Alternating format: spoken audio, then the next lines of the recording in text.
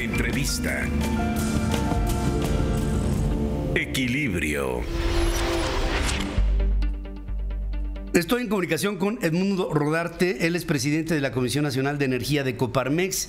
Y Edmundo, gracias por tomar esta comunicación y me da pie, me da pauta para eh, plantear eh, como tema central de este país, central, central, central de este país, eh, uno, si el sector energético de México no se abre a la inversión privada como venía en tendencia de la administración pasada, yo creo que no la vamos a levantar. No sé si en Coparmex estén pensando lo mismo. Pero buenos días a ti y a todo tu, auditorio. Efectivamente, lo que tú dices es muy cierto.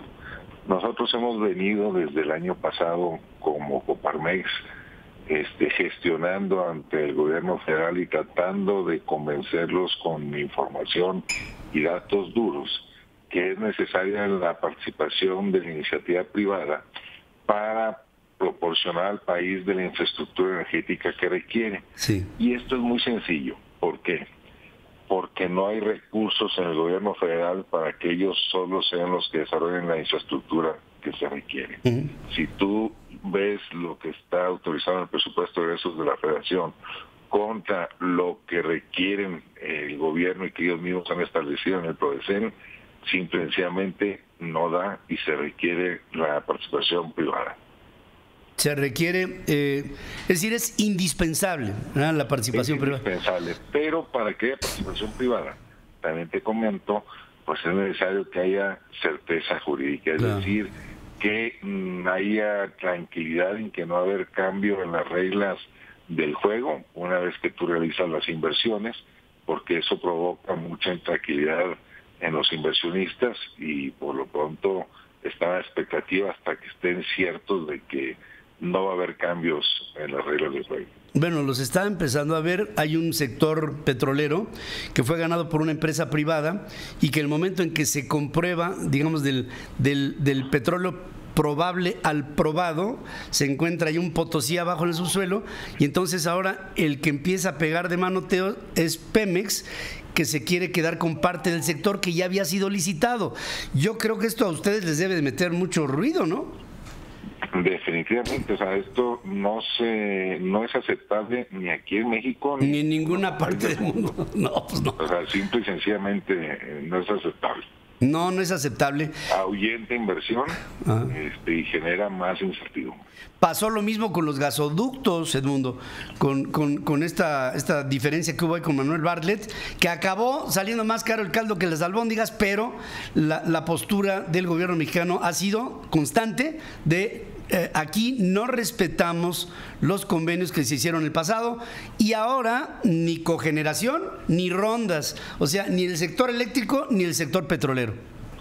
Sí, estamos ahorita sentados en la mesa tratando de de hacer ver por qué es importante lo que tú comentas de cogeneración, que es el autoabasto, que no pueden cambiar las reglas años después de que se permitió el autoabasto, porque hay muchos miles de millones de dólares invertidos y las empresas hacen sus modelos de negocio basado en las reglas cuando decidieron entrar a participar.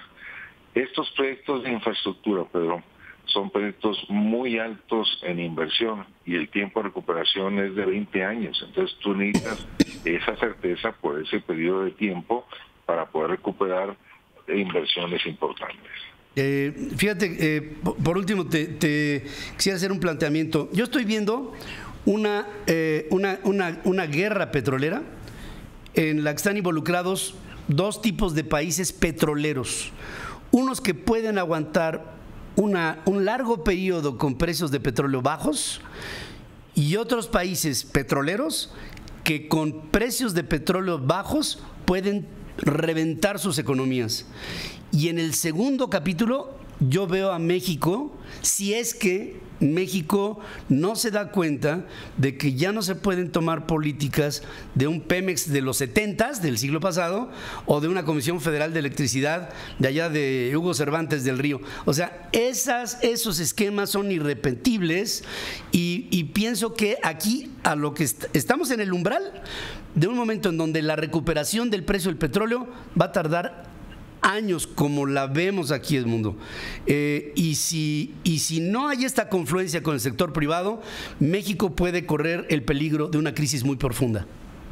Mira, ahorita estamos todavía a tiempo para que el gobierno pueda reflexionar y poder cambiar su visión sobre la participación de la iniciativa privada en el sector energético. Mm. Yo creo que todos queremos que al país le vaya bien. Por supuesto. Todos.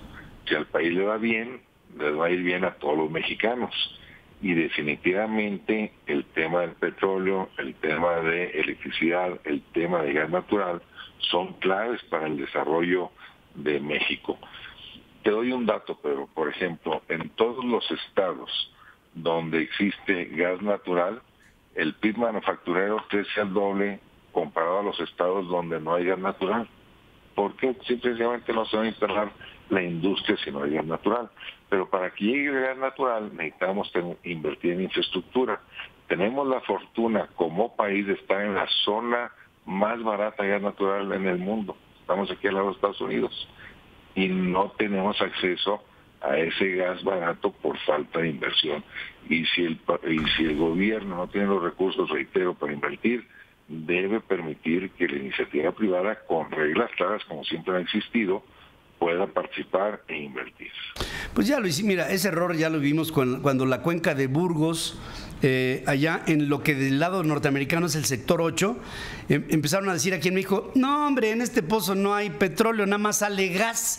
Y empezaron a tapar los pozos y, perdimos 15 años para recuperar un esquema que después se convirtió en explotable y después lo dejaron de explotar otra vez en una inconsistencia en la política de inversión de petróleos mexicanos que nos tiene en esta posición, importando lo que tenemos a, pero a, eh, un potosí abajo en el subsuelo y pues se necesita del capital privado para sacar esto adelante. Ojalá ya haya un lenguaje común para que saquemos este país adelante, si no, de verdad, un, un prolongado periodo con energéticos bajos puede reventar completamente nuestras expectativas de bienestar.